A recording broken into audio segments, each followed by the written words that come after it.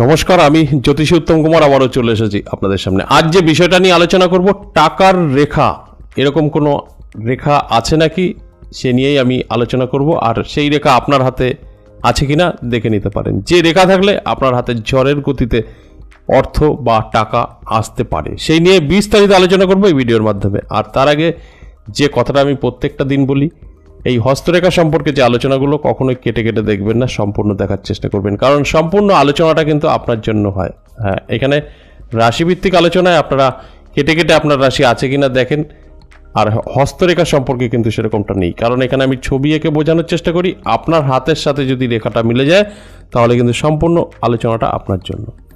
আরেকটা কথাও আমি বলি যে, আজ হয়তো যে রেখাটা নিয়ে আমি আলোচনা করব বা আপনাদেরকে বোঝাবো, সেই রেখাটা আপনার হাতে দেখছেন নেই। আমি বলব ভিডিওটা কেটে দেখবেন না। কারণ আজ নেই, কাল আপনার হাতে কিন্তু আসতে পারে। কমন তিনটে রেখা জন্মগত থেকেই আমাদের হাতে থাকে, কারোর ছোট, কারোর বড়। এছাড়া ভালো, মন্দ রেখাগুলো কিন্তু আমাদের হাতে পনেরো দিন অন্তর অন্তর চেঞ্জ হতে থাকে। তার কার্যকারিতা তিন মাস পর পর কিন্তু আমরা পেয়ে থাকি।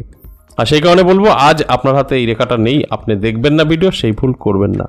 যদি আপনারা দেখে রাখেন, আপনার জানা থাকবে, পরবর্তীকালে যখন আপনার হাতে এই রেখাটা আসবে তখন আপনার জানতে পারবেন যে এটা আপনার ভালোর জন্য আসছে না খারাপের জন্য। কারণ রেখা সবসময় ভালো হয়, এরকমটা কিন্তু নয়। কিছু কিছু রেখা দ্বারা আমাদের কিন্তু খারাপ সময় আসার আগেও সংকেত দিয়ে থাকে। সব রেখা শুভ নয়, আবার সব রেখা অশুভও নয়। সেই রেখাগুলো আপনাদের পরিচয় যদি থাকে, তাহলে আপনাদের অনেকটাই কিন্তু জীবনে চলার পথে আপনাদের সুন্দর হতে পারে। আর সেই নিয়েই বিস্তারিত আলোচনা আজ করব যে টাকা। টাকার রেখা বলে কিছু আছে কিনা, সেই রেখা আপনার হাতে আছে কিনা? আর সেই রেখা যদি থেকে থাকে, তাহলে আপনার কতটা জীবনে পরিবর্তন আসবে অর্থনৈতিক দিক থেকে, সেটাই আজ আমি বোঝানোর চেষ্টা করব। আগে আমি তিনটে যে কমন রেখা থাকে, সেই কমন রেখা তিনটে আমি একে বোঝানোর চেষ্টা করি। এটা হচ্ছে আয়ু রেখা, এটা হচ্ছে শিরোরেখা, এটা হৃদয় রেখা। এই তিনটে রেখা কিন্তু কমন প্রত্যেকটা জাত ব্যক্তির হাতে থাকে। সেটা ছোট হতে পারে, বড় হতে পারে, তবে থাকে। আর একটা রেখা কমন চারটে রেখা বলা হয়, সেটা হচ্ছে ভাগ্যরেখা কিন্তু ভাগ্যরেখা অনেকেরই থাকে না। সেই কারণে আমি তিনটে রেখা কমন বলি। আর এই তিনটে রেখা যে এরকমই থাকতে হবে, এরকমটা কখনোই না। কারোর ছোট হবে, কারোর বড় হবে, কিন্তু থাকবে। যেরকম আয়ু রেখা, কারোর এতটুকু আয়ু রেখা থাকে, কিন্তু থাকে। কারোর এই রেখাও ছোট থাকতে পারে, কিন্তু থাকে। সেই কারণে এই তিনটে আমি কমন বললাম। এই কমন তিনটে রেখা প্রত্যেকেরই থাকে। এরপরে যে হাতের আমাদের মাধ্যমে যা যা রেখা আসে, সেগুলো ভালো মন্দ দেখে আমাদের হাতে কিন্তু প্রকাশ পায়। আজ যে বিষয়টা নিয়ে আলোচনা করব, টাকার রেখা। হ্যাঁ এই রেখাগুলো আমি আজ পরিচয় করাবো। সেই রেখাগুলো যদি আপনার হাতে থেকে থাকে, তাহলে আপনার হাতে প্রচুর অর্থ আসবে, এতে কোনো সন্দেহ নেই। যে কোনো দিক থেকে আপনার হাতে কিন্তু টাকা আসবে। আপনি প্রচুর রোজগার করতে পারবেন। সেই রেখাগুলো কি কি? প্রথমে আমি আর একটা গ্রহের যে অবস্থান, সেটা আমি দেখানোর চেষ্টা করব। এইটা হচ্ছে অনামিকা আঙুল। এই অনামিকা আঙুলের এই জায়গাটা, এটা কিন্তু রবি পর্বত, অর্থাৎ রবি গ্রহের স্থান। এই যে রবি গ্রহ, আপনার প্রথমত কিন্তু ভালো থাকতে হবে। কি করে বুঝবেন ভালো থাকবে? আপনার কিন্তু অবশ্যই এখানে মাংসাশী হতে হবে, লালচে গোলাপি আবাযুক্ত হতে হবে, পরিষ্কার পরিচ্ছন্ন থাকতে হবে, তবে আপনার রবি ভালো। আর রবি ভালো মানেই আপনার ধনসম্পদ এবং মান যশ খ্যাতি, এগুলো কিন্তু আপনার বুঝিয়ে থাকে।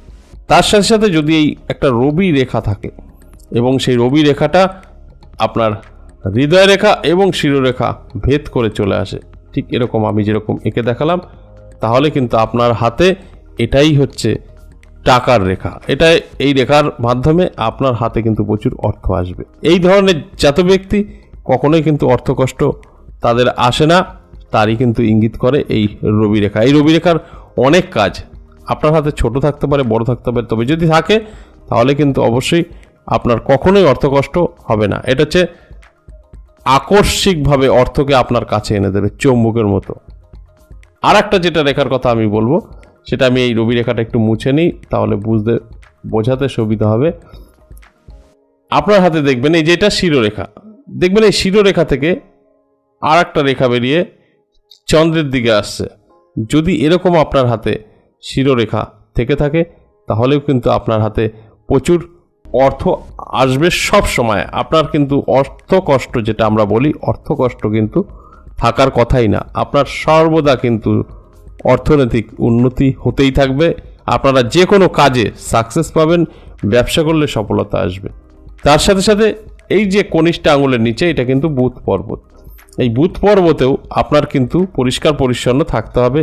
লালচে গোলাপি আবার যুক্ত থাকতে হবে এবং তার সাথে সাথে একাধিক ছোট ছোট বুধ রেখা যদি আপনার হাতে থেকে থাকে। একাধিক মানে একের অধিক, দুটো বা তিনটে যদি থেকে থাকে, তাহলেও কিন্তু এটাও এই টাকার রেখা বলা যেতে পারে। আপনার হাতে এই রেখা থাকা মানেই সব সময় আপনার হাতে কিন্তু টাকা থাকবে। সেটা দশ টাকা হতে পারে, অনেক টাকাও হতে পারে। হাত কখনোই আপনার ফাঁকা হবে না। যেরকম অনেকেরই আছে যে অর্থ ধরে রাখতে পারে না, হাত সবসময় ফাঁকা থাকে। বা ইনকাম ধীরে ধীরে কমতে থাকে, এই জাত ব্যক্তিদের সেটা কিন্তু হবে না। এদের ইনকাম বাড়বে এবং যে কোনো কাজে সাকসেস পাবে, কারণ বুধ বুধ আমাদের কিন্তু বুদ্ধি দ্বারা আমাদেরকে সব সময় বাঁচিয়ে থাকে। আর এই বুধ গ্রহ ভালো থাকলে, তার সাথে সাথে যদি এই তিনটে বুধ রেখা একের অধিক আপনার হাতে থেকে থাকে, তাহলে কিন্তু অবশ্যই অর্থ কষ্ট আপনার কখনোই তো আসবে না এবং সব সময় আপনার হাতে কিন্তু অর্থ থাকবে যে কোনো কাজে সাকসেস কিন্তু আপনারা পাবেন। এরপরে আমি আর একটা রেখার কথা বলব। সেটা হচ্ছে আপনার ভাগ্য রেখা তার আগে এই যে আয়ু রেখাটা দেখবেন শুক্রের ভিতরে অনেকটা চলে যাবে।